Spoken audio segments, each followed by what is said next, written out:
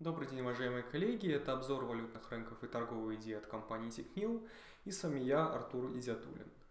А сегодняшний обзор я бы хотел начать э, с рассмотрения того, как отработали торговые идеи, а, высказанные ранее э, на этой неделе, в понедельник, э, перед заседанием ФРС. А, я напомню, что мы рассматривали с вами индекс доллара, пару евро-доллар, фунт-доллар – а, и золото. Значит, э, по а, индексу доллара предполагалось, что а, он у нас протестирует уровень в 93.45, и в аккурат вот на заседании ФРС это произошло. Дальше, получается, индекс не прошел, этого, в принципе, не ожидалось. Вернулся он, получается, к этому уровню поддержки, как мы видим, он у нас ее подкрепляет, оправдывает, да, получается, уровень поддержки, так как вот здесь снова, получается, индекс доллара у нас остановился перед дальнейшим снижением. А, в среднесрочной перспективе для доллара она, естественно, а, понижается, на это способствует а, политика ФРС, мы уже это с вами ранее обсуждали. Сегодня мы обсудим то, как на это повлияло последнее заседание ФРС, что там произошло и что это сулит для доллара.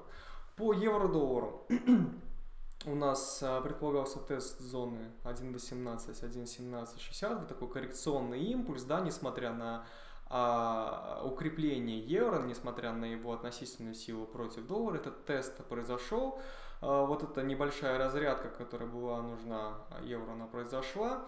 Этот уровень подтвердил, что не пропустит, получается, пара евро-доллар дальше вниз, потому что перспективы у нас для роста а, этой пары, они у нас существенные. Этому способствует политика ЕЦБ и политика а, ФРС. Очень быстрое восстановление получится от, от этого уровня у нас а, произошло, подтверждая перспективы того, что а, дальнейший рост пар у нас является преимущественным сценарием. А, по фунт, а, по фунт доллару а, он у нас а, погряз в опасениях и страхах по, потому что Брексит у нас э, пройдет по а, худшему сценарию, выйдет, получается, а, Великобритания у нас без сделки из ЕС, и очень чувствительный для Брексит на этой неделе обсуждался законопроект, законопроект о внутреннем а, рынке. Так вот, собственно, он был, сама суть законопроекта, она достаточно неблагоприятна для отношений между ЕС и Великобританией. ЕС оспаривал некоторые пункты вот этого законопроекта, естественно, принятие этого законопроекта, оно бы угрожало, оно бы а, осложняло а, благоприятный выход а, Великобритании из ЕС. Но так все получилось, что не прошел у нас этот законопроект, его не, про, не, не смогли одобрить. Естественно, это повышает шанс на то, что Brexit благоприятный исход э, будет у нас по Brexit, соответственно, пара фундов у нас выбралась из вот этого снижения, которое контролировалось, получается. А вот этой трендовой линии выбралась она, да, вот здесь у нас произошел а, тест этого уровня 1.30, ну, в принципе, круглый уровень, ожидалось, да, что произойдет тест и не будет резкого а, пробоя этого уровня, но в целом у нас пара смотрит наверх, и это как раз таки подкрепляется а, перспективами слабого доллара, поэтому рассматривается, получается, пробой по паре фунт-доллар является предпочтительным, ну, естественно, пробой с отбоем к этому уровню и уже дальнейший рост. А по, по золоту, да, предполагалось, что у нас э, на заседании ФРС сможет пара выбраться, э, сможет э, золото у нас выбраться за вот эту трендовую линию, которая контролировала у нас снижение золота, получается, с середины августа. А, была торговая возможность, она заключалась в том, что золото у нас выберется из трендовой линии и а, пройдет одновременно с этим у нас получается вот этот горизонтальный уровень в 1970 на заседании ФРС у нас произошел этот краткосрочный тест, но а, это вот, эта трендовая линия, она, как мы видим, не пустила, получается, а, золото выше. А рассматривался при этом у нас альтернативный сценарий, что пойдет вот а, к уровню 1936 долларов за тройскую унцию. А золото произошел у нас этот тест, отработала у нас, получается, вот эта линия, линия, трендовая линия, да, которая контролирует снижение, не пустила вверх. Естественно, идти дальше золота вверх будет уже не так просто, поэтому, возможно, стоит рассматривать короткие позиции по доллару, потому что вот это снижение, которое мы наблюдаем э, с середины августа, оно э, у нас сохраняет перспективы как раз потому, не, потому что не пустили у нас э, золото э, выше э, вот этой трендовой линии. А, по а, заседанию а, ФРС, да, важный момент, давайте с вами отметим, что произошло. После него, после заседания, мы видим, ну, во-первых, давайте начнем с рыночной реакции. Мы видим, что у нас снизились, получается, основные фьючерсы, американские фьючерсы на фондовый индекс, ну, вот индекс, э, фьючерсы на NASDAQ, S&P 500, промышленный индекс Dow индекс э, малых компаний Russell, получается, они снизились после создания ФРС, сейчас пребывают в такой нерешительности. А почему? Потому что на э, фронте экономических э, данных, экономической статистики, на фронте монетарной политики у нас значительно померкли перспективы. Если раньше у нас один за другим поступали бычьи какие-то катализаторы, которые давали рост, ФРС там что-то обещал, экономические данные удивляли, то сейчас все намного сложнее и хуже с этим. На заседании ФРС у нас очень-очень прозрачно намекнули, что хоть нулевую ставку у нас и собирается держать э, около нуля, э, включительно получается а, до конца 2023 года. А, тем не менее, контраргументом к этому ФРС выдвинул то, что у нас насыщенные рынки ликвидностью, а, на основных кредит, кредитных рынках, где у нас какие-то участники, экономические агенты занимают средства, стоимость заимствования у них сейчас нормальная, не экстремальная, занимать можно, поэтому никакого нового смягчения в денежно-кредитной политике не предвидится, не стоит раскатывать губу и ожидать, что ФРС там будет негативные ставки вводить, а, контролировать кривую доходность, э, доходности, ФРС четко дал понять. Э, нулевые ставки более длительно, пожалуйста, но углубление в монетарном стимулировании мы вам не предложим.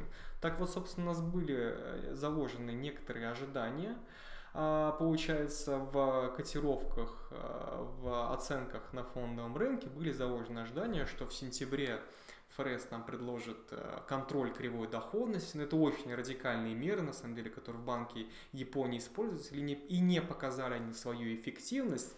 А, ФРС четко дал понять, что не будет никакого негативного, никаких негативных ставок, не будет кривой доходности, не будет управления кривой доходностью. А, и а, поэтому вот эти ожидания, которые у нас были здесь заложены, они у нас, соответственно, скорректировались. Вот у нас а, произошло вот такое вот снижение. Прибывают, как видим, они сейчас у нас в нерешительности. Активней других у нас снижался NASDAQ, ну, в принципе, и рост спекулятивный, да, быстрее, сильнее других. И вот этот откат у нас триггером получается для вот этого а, снижения. А, пропорционально получается, у нас как раз выступил а, заседание ФРС, а, четкий сигнал от ФРС, что дальнейшего смягчения у нас не предвидится. Но вот это разочарование, которое мы видим, несмотря на то, что поступил такой сигнал, на мой взгляд, я думаю, что оно будет у нас краткосрочным а вот эта негативная реакция, она имеет э, срок, э, срок жизни, она, имеет, она должна будет иметь ограниченный срок. Почему? Потому что а если мы э, будем рассматривать среднесрочную и долгосрочную перспективу, вот этот апдейт от ФРС, заседание, да, вот ФРС, новая информация от ФРС, где ключевым выводом было то, что мы оставляем ставки на нулевом уровне, включая 2023 год. А вот это заявление, вот эта новая информация, она лишь должна способствовать той тенденции, которая уже была до заседания. А была до заседания тенденция такая, что а, рисковые активы, акции, их относительная привлекательность именно относительно бандов, то есть защитных активов, привлекательность акций, она росла. Почему? Потому что вот политика ФРС она смягчалась и смягчалась. Потому что а, по бандам, по активам а, по ценным бумагам с фиксированной доходностью, доходность нужно было ждать все больше и больше и больше. Это растягивал срок, когда а, отдача на капитал, да, на вложенные средства придет, получается. Вот, поэтому относительная привлекательность акций а, относительно, относительно бандов, она вот росла у нас до седания ФРС. ФРС же еще раз подчеркнул тем, что вот нулевые ставки у нас растягиваются, подчеркнул еще раз, что э, акции становятся еще более, получается, привлекательными по отношению к облигациям. Потому что у нас дальше продолжается вот этот возникает в дисбаланс э, доходности, да, получается. По бандам все сложнее, все дольше приходится ждать какую-то доходность, и поэтому, чтобы получить доходность, нужно рассматривать другие альтернативные классы, более рисковые, получается, а, активы, и этими рисковыми активами у нас являются а, акции, да, вот. И это основная тенденция, которая у нас сейчас двигает э, фондовым рынком, э, тем, что у нас растут, получается, на нем э, котировки, потому что у нас по бандам доходности, перспективы получения доходности у нас сокращаются, и получается растет у нас шансы на то, что будет происходить эта перекладка в акции, потому что в бандах все сложнее, в активах фиксированной доходности все сложнее найти доходность, поэтому нужно рассматривать акции. Вот, собственно, заседание ФРС, оно еще раз нам вот это подчеркнуло. Факт того, что будут нулевые ставки, еще дольше будут нулевые ставки, означает, что по, по бандам, держателям бандов, еще дольше, получается, а, придется ждать, чтобы а, получить, получается, доходность. А теперь мы, давайте быстренько рассмотрим некоторые важные экономические моменты из экономической статистики. У нас на этой неделе, я напомню, вышли розничные продажи и вышли заявки на пособие по безработице, первичные и длительные заявки на пособие по безработице. А розничные продажи у нас стали такой инъекцией а, суровой реальности в рынок. Они не оправдали у нас прогнозы за август. Там прогноз был 1% а, месячного роста по отношению к июлю. На самом деле у нас актуальное значение было 0,6%. А, розничные продажи в контрольной группе, но это более узкий показатель, который там исключает некоторые волатильные товары, у нас вообще оказался а, отрицательным. А, розничные продажи, напомню, у нас составляют половину всех потребительских расходов США, поэтому это очень хороший прокси, будем так говорить, экономической активности, экономического роста. И получается, вот в августе прозвенел вот этот тревожный а, звоночек, получается, розничные продажи, а, их рост начал а, замедляться. Очень важным моментом из статистики было то, что за июль розничные продажи были также пересмотрены вниз, а июль у нас был один из месяцев расцвета американской экономики после локдауна. Пересмотр сильного месяца вниз, а также удар по рыночному оптимизму, да, который заставляет пересмотреть вот, действительно, как же росли розничные продажи, как они а, будут расти после вот такого разочарования а, в августе. А если мы посмотрим на то, как у нас общее э, потребление, получается, США э, менялось, видно, что оно у нас сейчас остается ниже январского уровня в среднем на 6,5%. То есть они еще не полностью у нас восстановились розничные продажи. А вот здесь после выхода на плата, получается, в августе, а, в конце, в последнюю неделю, получается, августа, у нас вот розничные э, общие потребительские расходы, они у нас перешли в снижение. А, к чему я это все говорю? На экономическом фронте, как мы видим, все сложнее и сложнее рынкам найти позитивные, положительные а, какие-то катализаторы для роста. Да? По а, фондовым рынкам США, которые у нас ориентируются на американскую экономику, мы сейчас сами показываем и доказываем, да, будем так говорить, то, что вот с такими данными, с такими показателями, с такими розничными продажами за август, а, в сентябре уже намного сложнее ожидать какого-то позитивного сюрприза в потреблении. А нет позитивного сюрприза в потреблении, выручка компаний, получается, не растет, возникают вопросы к их оценке. А стоят ли они действительно так высоко? И это порождает, вот, собственно, сомнения, а справедлива ли их оценка?